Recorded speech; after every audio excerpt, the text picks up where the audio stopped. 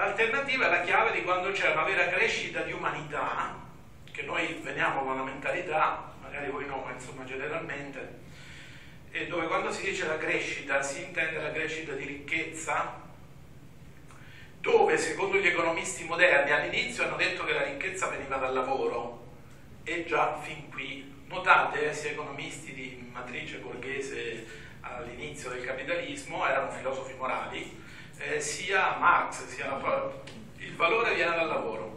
Poi a poco a poco si è visto che il lavoro accumulato diventa capitale, il vero valore diventa capitale, cioè l'elemento propulsore dell'economia non è affatto il lavoro, è il capitale. Ecco perché tutto è misurato sulle esigenze, sui diritti del capitale e non dei lavoratori.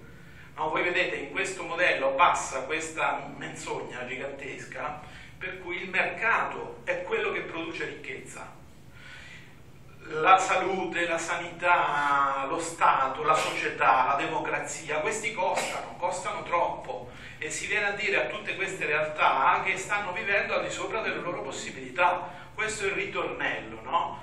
Nella realtà vera, se fossimo lucidi, dovremmo dire che il capitalismo vive al di sopra delle sue possibilità, perché sfrutta il lavoro, la fiducia, il consenso, i sacrifici delle persone restituisce precarizzazione, miseria, distruzione della natura. Quindi è lui che vive al di sopra delle sue possibilità, non la democrazia, non i diritti, non la scuola, non la salute.